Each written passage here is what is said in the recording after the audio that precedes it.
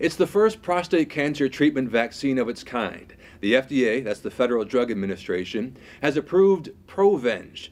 The vaccine does not prevent or cure prostate cancer, but it can help men with advanced prostate cancer live four months longer.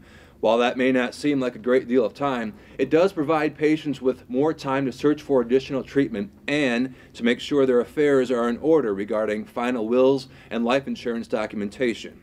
Here are some stats on prostate cancer. According to the American Cancer Society, 192,000 men were diagnosed with prostate cancer in 2009.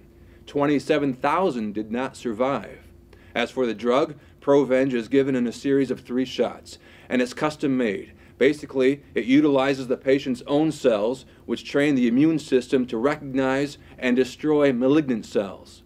According to various websites, the cost of the drug treatment is around $90,000.